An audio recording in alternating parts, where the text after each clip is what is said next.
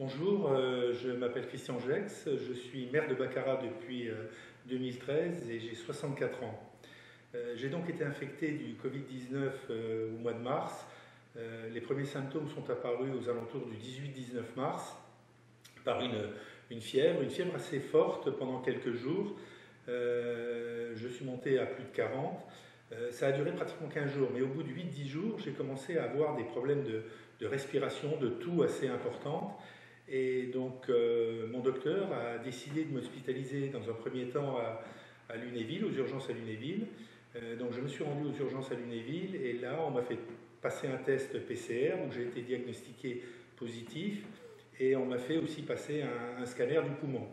Euh, là, on a découvert une, atteinte du poumon gauche par le Covid-19 considérée de moyenne. C'est pour ça qu'on m'a renvoyé à la maison et donc je suis rentré le soir euh, de nouveau chez moi et le lendemain j'avais de plus en plus de mal à respirer. Euh, donc mon docteur m'a proposé de me, de, me, mettre sous oxygène mais à la maison, ce qui a été fait. Et au bout de deux jours, euh, j'avais toujours autant de, mal à respirer. et chaque fois que je me levais, j'étais obligé de, m'allonger ou de m'asseoir parce que je, je, manquais totalement de respiration. Donc là, il a été décidé de, m'hospitaliser dans l'unité canton au CHRU de, Nancy-Brabois. Et je suis rentré euh, euh, début avril donc, euh, à cette unité, où là j'ai été pris en charge tout de suite sous oxygène, dans une chambre isolée, avec un sas d'entrée, ce qui, est un peu impressionnant quand vous arrivez, puisque vous avez un sas d'entrée puis la chambre derrière, et dans ce sas d'entrée, vous avez tout le matériel pour pour vous désinfecter les mains, pour euh, vous changer, et ainsi de suite. Euh, donc les premiers jours ont été assez difficiles puisque euh, vous réfléchissez à tout ce qui se passe.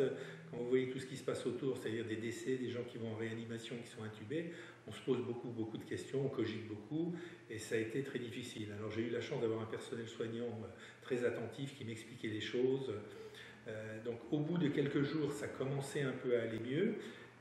Et, euh, au bout de, 8 jours, 8-10 jours, euh, là, la saturation a fortement euh, augmenté et, j'ai pu heureusement sortir et ça a été une vraie délivrance. Et c'est là que j'ai compris que je m'en étais sorti et que je pouvais rentrer chez moi. Alors, les, moments qui, étaient les plus difficiles étaient les moments dans la journée ou le matin, mais les, meilleurs moments pour moi étaient pratiquement les moments des repas où pendant ce temps-là, euh, je mangeais tranquillement, je, ne cogitais plus, je pensais à, mon repas et, ça a été des moments un peu de, détente et, de, soulagement. Ce que je peux dire aussi, c'est que euh, j'ai été euh, accueilli à Canton par un personnel extraordinaire, c'est-à-dire que les gens venaient me voir, bien sûr le personnel soignant, parce que la, famille ne peut pas venir vous voir, euh, venez me voir régulièrement, euh, m'expliquer les choses, me prenez euh, ma saturation, ma température, mon rythme cardiaque, m'expliquer les choses, me rassurer.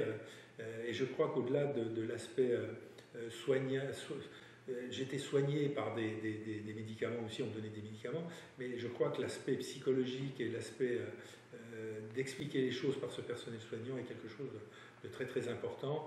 Et, franchement, je, leur tire un grand coup de chapeau parce que je, ne pense pas que tout le monde euh, puisse imaginer le travail formidable qu'ils font et qu'ils ont fait pendant cette période-là.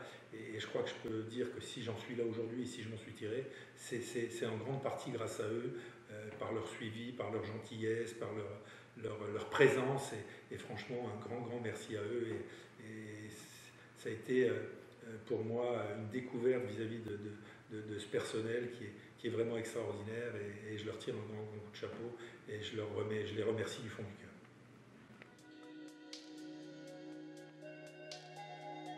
Pourriez-vous nous dire ce que vous avez ressenti lorsque vous avez appris votre positivité au Covid-19 eh ben, j'ai senti le monde s'écrouler parce que je ne m'y attendais pas du tout, je ne sais pas du tout comment je l'ai attrapé. Et je, n'imaginais pas euh, qu'un jour je sois concernée.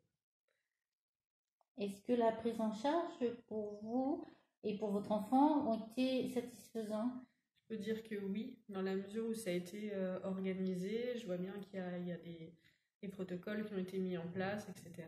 Et euh, bah, c'est rassurant pour, pour, pour nous et puis pour le personnel soignant aussi de, de voir qu'il y a quand même des choses qui existent, oui. Et pour votre époux Alors, euh, ça a été très très compliqué. Le fait de ne pas pouvoir être euh, présent à l'accouchement, c'est compliqué, mais on a eu la chance de pouvoir euh, bénéficier de sa présence via, via un mode de visio. Donc, c'était déjà ça. Voilà. Et pour l'après, vous envisagez l'après-Covid Le retour à la maison. Ah, le retour à la maison, ben, j'espère qu'il aura lieu euh, aujourd'hui, déjà. Et donc euh, ben là, on arrive à la fin de la période d'isolement, donc euh, on sait que ça va être, ça va être court, le, le, fait de vivre différemment. voilà. Mais bon, c'est sûr que le papa n'a vu son enfant que sur photo et vidéo pour l'instant, donc ça va être particulier.